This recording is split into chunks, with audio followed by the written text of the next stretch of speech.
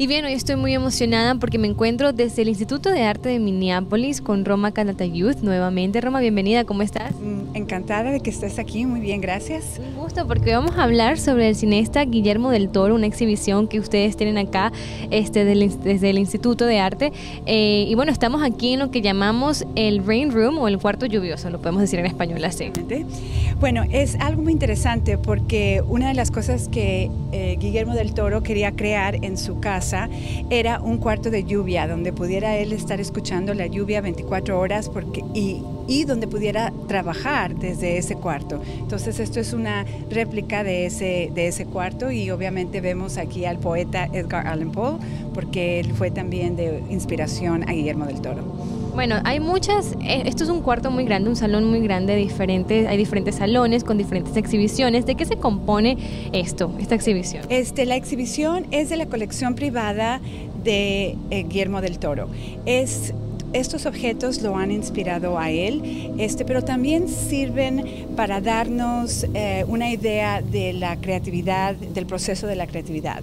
Ah, la exhibición está compuesta en ocho salas de ocho temas, incluyendo la niñez y la inocencia, la magia, eh, la comedia y la cultura pop, este, también Frankenstein y los monstruos, monstruos que él ha utilizado en sus películas, y también la muerte y el más allá.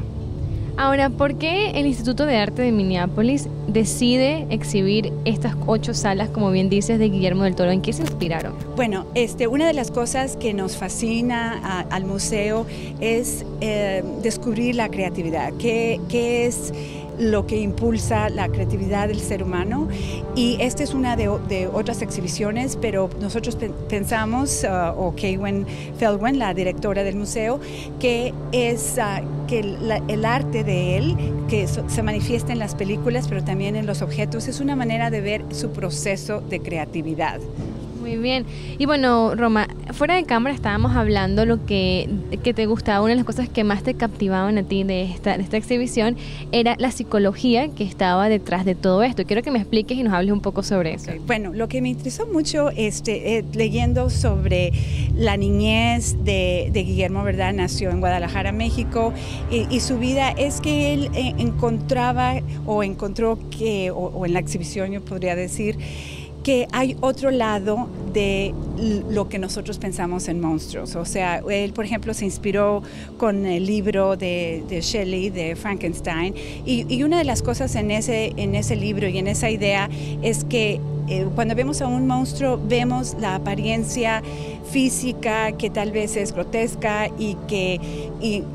pensamos inmediatamente algo negativo, pero esa, es, esa figura o esa persona o esa identidad tiene a sí mismo de dentro algo bueno, algo de, ser humano. Entonces, esa es parte de la psicología de, de, no nada más ver a los monstruos por la parte de afuera, pero también lo que tienen por dentro. Roma, muchísimas gracias, un gusto de verdad poder hablar contigo. Nos, me impresionó muchísimo esta exhibición, como dices, son ocho salas y de verdad los invito a todos a que vengan porque es realmente impresionante cada una de las cosas y de las piezas que hay en esta exhibición. Son más de 500 piezas que hay acá. Piezas, y, y, y también una más, una más cosa que quiero agregar es que la mayoría de los objetos son de él, pero también hay algunas pinturas de nuestra propia colección permanente del museo, pero todo es un, tema sensacional con, con, diferentes categorías. Muy bien, gracias Roma, muchísimas gracias, los invito a todos.